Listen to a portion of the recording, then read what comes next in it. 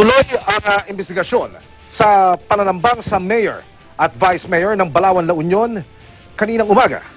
Patay sa ambush si Vice Mayor Alfred Concepcion at aide niyang si Michael Ulep.